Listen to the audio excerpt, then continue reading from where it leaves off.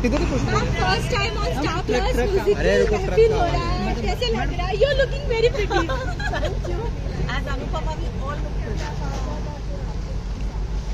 how excited दादा। There's that puppy on the middle of the road and the heart is there right now. Wait wait कुछ नहीं होगा उसको अरे वो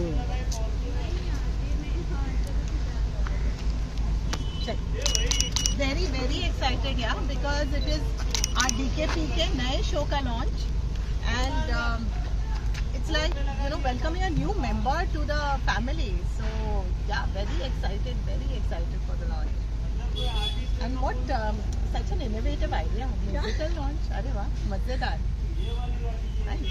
थैंक आप कुछ परफॉर्म करने वाले नाही.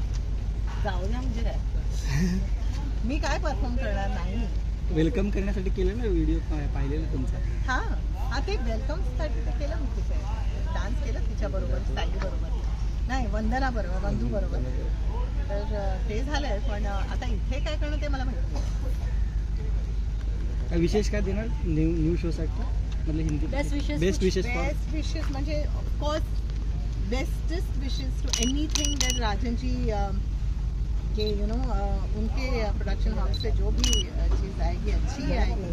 क्योंकि मैं जानती हूँ ना किस तरह से हर चीज़ में थॉट प्रोसेस जाता है एक सीन में एक एक लाइन में कितनी सोच कितना यू नो मेहनत जाती है। हम लोग तो सिर्फ़ एक्टर्स हैं सामने एक्टिंग करते हैं लेकिन उसके पीछे कितनी मेहनत होती है। ये दिखाई नहीं देते लोगों को लेकिन जो भी हम लोग को पॉपुलैरिटी मिलती है उसका ninety percent I would say श्रेय जाता है राजन जी और उनकी टीम को जो बिहाइंड द सीन्स दिन रात काम करते हैं।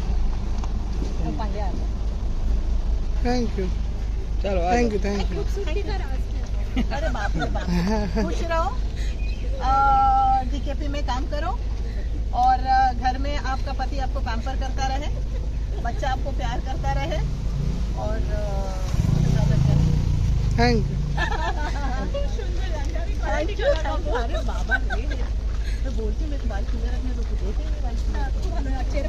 एक इंटरव्यू में सब लैंग्वेज आ गई। हाँ, मराठी इंग्लिश हिंदी। समझ में नहीं आता एक्चुअली बिकॉज़ मम्मी मराठी है तो मेरे लिए हिंदी और मराठी मेरी पैदाइशी लैंग्वेज है। मैं दोनों साथ में बोलना शुरू किया। अगर मैंने हिंदी बोलना शुरू किया साथ में मराठी भी बोलना शुरू किया।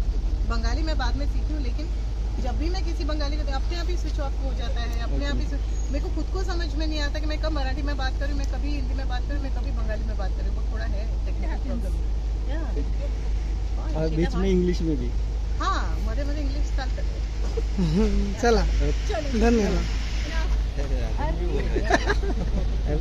ठीक है मैं मैं आपका अरे उतर जा। ना ना हाँ हाँ वेट रहे